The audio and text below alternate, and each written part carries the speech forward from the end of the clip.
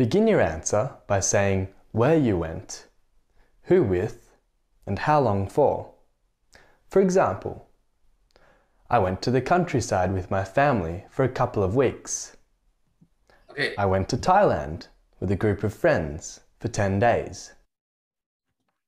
With my family who who with no.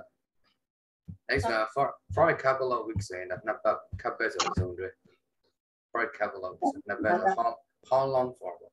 နော်အဲ့တော့ဘယ်သွားတာလဲ who did you go with ဘယ်လောက်ကြာကြာသွားခဲ့လာလဲဆိုရင် how long did you go for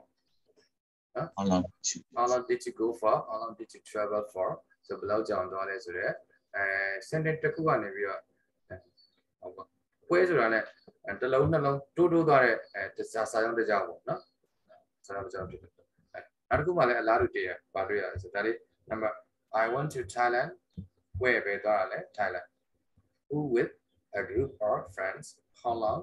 for for 10 days and this is kind of practice one sentence ကိုပဲကိုယ်စကားစုထည့်ပြီးလေ့ကျင့်တယ်စကားစုထည့်စကားစု၅မျိုးမှတ်မိတော့အဆင်ပြေတယ်စကားစု၅မျိုးမှတ်မိတာ BMPDRB စကားစု၅မျိုးမှတ်မိစအမှန်အဲ့ဒီ၅မျိုးကကုလိုသူသုံးလို့ရတယ်။ဒီနံပါတ်1 D ပေါ့။ဒီမှာဆိုရင် D ဆိုတဲ့ direction ပါလာကြည့်တယ်။ DI ဒါတော့ theory ဘိုင်းပြန်လေ့လာ DRE CDION direction direction ဆိုတော့ to countryside ဆိုတာ direction ပါလား ဟုတ်တယ် ။နေရာလည်းပြောလို့မရဘူး။ရတယ်နော်။အဲ့တော့ direction လည်းဖြစ်တယ်နေရာလည်းဖြစ်တယ်ပေါ့။အဲ့လိုဘယ်ကိုသွားတာလဲဘယ်ကလာတာလဲဆို where from လည်းသုံးလို့ရတယ်။ဘယ်ကလာတာလဲဘယ်ကိုသွားတာလဲတစ်ချက်။ဒါဆိုတစ်ချက်ပါသွားပြီဒီမှာ to the countryside to abroad ဆိုတာပြောတာ to foreign country to Singapore okay with my family ဆိုဒီနောက်တစ်ခုက M က manner အမိလား manner Manner ဆိုတော့သွားတဲ့ခါကျရင်ဘယ်လိုသွားလဲဆိုတော့ manner ဆိုတော့ okay လေနဲ့သွားတာကားနဲ့သွားတာ flight နဲ့သွားတာပေါ့နိုင်ငံသွားမယ်ဆိုတော့ flight နဲ့သွား by flight ပေါ့ by flight ဆိုတော့ manner ဟုတ်တော့မလား manner ဘယ်မှာနေတယ်ဘာညာအဲ့လိုမျိုးဟာမျိုးအဓိကပြောတယ်ဘယ်မှာအလုပ်လုပ်တယ်2 years ago 3 years ago ဆို time စကားစုပါဟုတ်တော့မပါဘူးဘာလို့သွားလဲဆိုမပါဘူးခုဖြည့်ခြင်းထပ်ဖြည့်တဲ့တွေက SC purpose ဟုတ်ပြီနော်အဲ့တော့ကျွန်တော်ကဒီထဲမှာနှစ်ခုအဲအဲ ကိုကတိထားပြီးဆိုထပ်ဖြည့်ခိုင်းလိုက်ခြင်းလေဗျာပူတူပူတော်သွားအောင်ဆိုလို့စနှစ်ခုဖြည့်ပဲဆိုဘာလဲဘာလဲဖြတ်ဖြည့်ပဲစဉ်းစားကြည့်ဟုတ်တာလဲဆို wine ထည့်လို့ရတယ်ညာသွားခဲ့တာလဲဆိုဘယ်လိုပြော Where did you go Where did you go ဒီနေ့ where did you go ဟုတ်ပဲတော့ I went to the countryside နောက်တစ်ခါဘယ်နဲ့သွားတာလဲဆိုဘယ်လိုပြော Uh, who who do you go with Who did you go with oh who did you go with ဒီနေ့သွားတာလဲမင်းဘယ်လောက်ကြာအောင်နေခဲ့တာလဲဆိုရင်ဘယ် လောက်ကြာကြာသွားခဲ့တာလဲဘယ်လောက်ကြာကြာနေခဲ့တာလဲ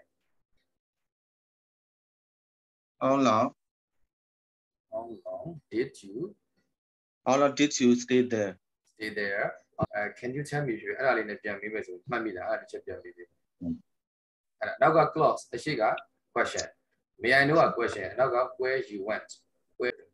may i know လို့ can you tell me လို့အဲ့ဒါလေးနဲ့ခုရရင်အဆင်ပြေတယ် right အဲ့ဒါပေါ့အဲ့တော့ အခုပြန်ပြောမယ်နော်မင်းပြူနဲ့သွားလဲဆိုတော့ငါ့ကိုပြောနိုင်မလားဆိုလို့ရှိရင်အာ who did you go there with ဆိုတဲ့စာကြောင်းကို can you tell me ပြပြောကြည့်ပါမလို့ပြော can you tell me Can you tell me မင်းပြူနဲ့သွားလဲဆိုတာ who who who went who went ဟုတ်ပြီ um, who Who went with ပေါ့ who ဒါပဲ who who huh?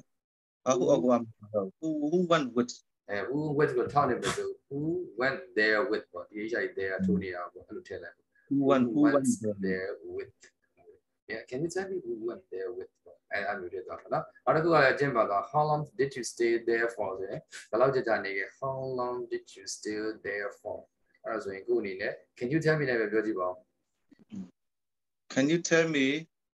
how long uh you how long you uh you uh, stay stayed